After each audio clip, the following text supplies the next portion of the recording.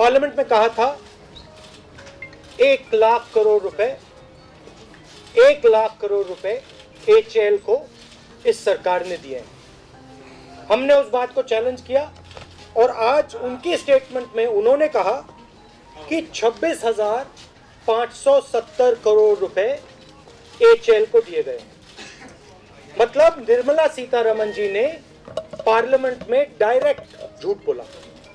यहाँ पे उनकी स्टेटमेंट में लिखा है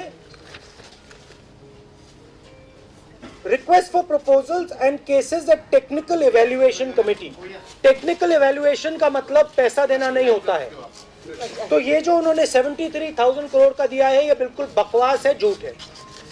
और जो एक्चुअल पैसा दिया गया है वो छब्बीस हज़ार करोड़ रुपए दिया गया है। तो ये डिफेंस मिनिस्टर ने क्लियरली एक झूठ बोला।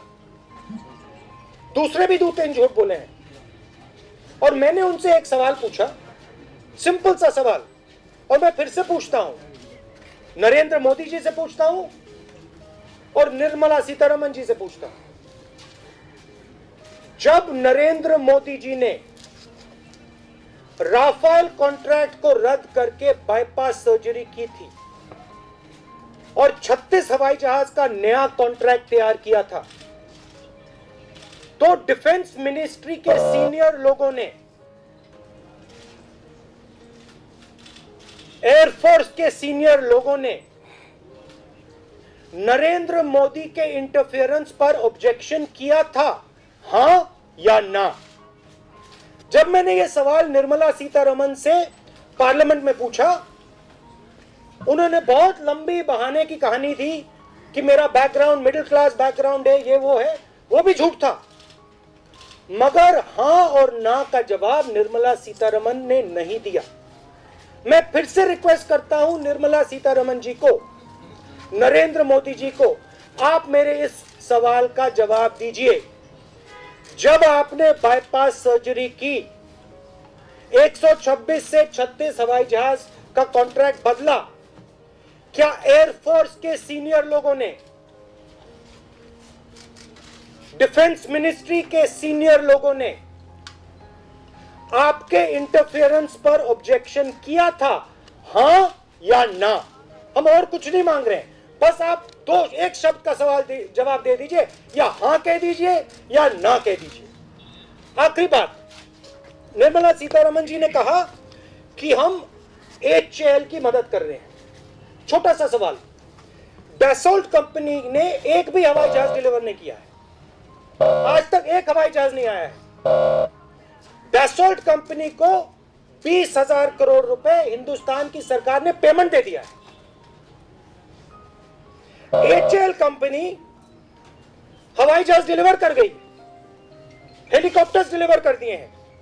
और पंद्रह हज़ार सात सौ करोड़ रुपए उनका पैसा आप उनको नहीं दे रहे हो, उनका ड्यू है। फॉरेन कंपनी अनिल अंबानी की, के मित्र, बीस हज़ार करोड़ रुपए बिना एक हवाई जहाज़ बनाए आप दे देते हो। और पब्लिक सेक्टर कंपनी हेलीकॉप्टर बनाए आपको दे दे, हवाई जहाज़ बना के दे दे, आप उनको उनका पैसा नहीं दे रहे हो। क्यों?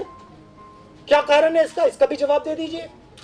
और मेन मेन मुद्दा यहाँ मैं फिर से युवाओं को बताना चाहता हूँ। यह आपका पैसा है। यह अनिल अंबानी का पैसा नहीं है। और जो ढाई घंटे का भाषण डिफेंस मिनिस्टर, उनको डिफेंस मिनिस्टर नहीं कहना चाहिए, उनको डिफेंस मिनिस्ट्री के स्पोक्समैन कहना चाहिए, नरेंद्र मोदी जी के स्पोक्समैन कहना चाहिए। जो उन्होंने ढाई घंटा का भाषण दिया, उसमें उन्होंने दो तीन चीज़ें नहीं कही। सबसे पहले उन्होंने मेरा यस नो का जवाब नहीं दिया। नंबर दो, उन्होंने ये नहीं बताया कि तीस हज़ार करोड़ रुपए अनिल अंबानी को किस बेसिस पे दिए गए? और इन जवाबों का, इन सवालों का जवाब अभी तक नहीं मिला है। और आपने देखा, भाई और बहनों, कि देश के जो चौकीदार हैं, वो लोकसभा में नहीं आ सकते हैं। लोकसभा में आने से डरते हैं। राफेल के सामने खड़े नहीं हो सकते हैं। क्योंकि अगर नरेंद्र मोदी जी मेरे साथ डिबेट कर जाएँ मुझे पंद्रह मिनट दे दो। नरेंद्र मोदी जी के साथ मुझे पंद्रह मिनट दे दो। पंद्रह मिनट सोलह नहीं चाहता हूँ मैं। पूरे देश को समझ आ जाएगा राफेल में क्या है। नहीं आ सकते हैं। क्योंकि चौकीदार ने चोरी कराई है। और पूछिए। आप पहले निर्मला सीतारमण का इस्तीफा मांग रहे थे आप अभी भी उस पर कायम है? सबसे पहले निर्मला सीतारमन ने क्लियरली यहाँ देखिए झूठ बोला है। लोकसभा में क्लियरली झूठ बोला है। बोला है एक लाख करोड़ रुपए। के हमने ऑर्डर एचएल को दिए हैं। उन्हीं की स्टेटमेंट में आज वो कह रही है छब्बीस हज़ार पाँच सौ सत्तर। और उन्हीं के स्टेटमेंट में उन्होंने कहा है कि ये जो बाकी सेवेंटी थ्री थाउज़ेंड करोड़ ये टेक्निकल एवेल्युएशन हो रहा है इनका। टेक्निकल एवेल्युएशन का मतलब पैसा नहीं होता है मैडम तो क्लियरली झूठ बोल रही है। और वो तो डिस्ट्रैक्शन वाला झूठ था। वो तो देश की नज़र को उधर करने का झूठ था। मेन जो उन्होंने झूठ बोला, जब मैंने यस नो का सवाल पूछा उन्होंने ड्रामा शुरू कर दिया। मुझे ह्यूमिलिएट किया। मैं मिडिल क्लास की हूँ। सबसे पहले वो मिडिल क्लास की नहीं है। मगर वो अलग बात है। हमारा सवाल, उसका आप जवाब दीजिए ना। और मैं ये नहीं मांग रहा हूँ कि भैया दो पैराग्राफ का जवाब दो। मैं ये नहीं कह रहा हूँ कि भैया वहाँ पे दो घंटे का भाषण दो। मैं सिर्फ़ कह रहा हूँ आप यस नो बोल दो। और हमारे जो प्रेस के मित्र हैं, उनको पूछिए आप। मैं फिर से सवाल दोहराता हूँ युवाओं सुनो। नरेंद्र मोदी जी ने राफेल कॉन्ट्रैक्ट को बाईपास किया। 126 करोड़ रुपए हवाई 126 हवाई जहाज़ और पाँच सौ छब्बीस करोड़ रुपए पर हवाई जहाज़। नरेंद्र मोदी ने कैंसिल किया और नया कॉन्ट्रैक्ट तैयार किया। 1600 करोड़ रुपए और 36 हवाई जहाज़। डिफेंस मिनिस्टर ने खुद कहा कि मैंने नहीं किया। मतलब डिफेंस मिनिस्ट्री का जो सीनियर मोस्ट आदमी है, उसने कह दिया मैंने नहीं किया। मतलब एक ही आदमी कर सकता है, नरेंद्र मोदी। अब लोगों ने नेगोशिएशन किया, आठ साल, दस साल नेगोशिएशन चल रहा था।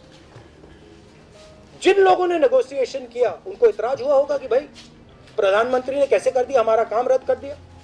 तो मेरा सिंपल सा सवाल है, जब प्रधानमंत्री ने बाईपास सर्जरी की उन लोगों ने जिन्होंने नेगोशिएशन किया था एयरफोर्स के जो सीनियर ऑफिसर्स हैं डिफेंस मिनिस्ट्री के जो ब्यूरोक्रेट्स हैं, क्या उन्होंने ऑब्जेक्शन किया था? क्या उन्होंने कहा था कि prime minister should not be bypass सर्जरिंग our work क्या उन्होंने कहा? Nirmala Sitharaman ji yes no just one one word yes और नो थैंक यू इस तरह की खबरें देखने के लिए आप हमारे चैनल को लाइक करके सब्सक्राइब कीजिए और नोटिफिकेशन बेल ऑन कीजिए। धन्यवाद।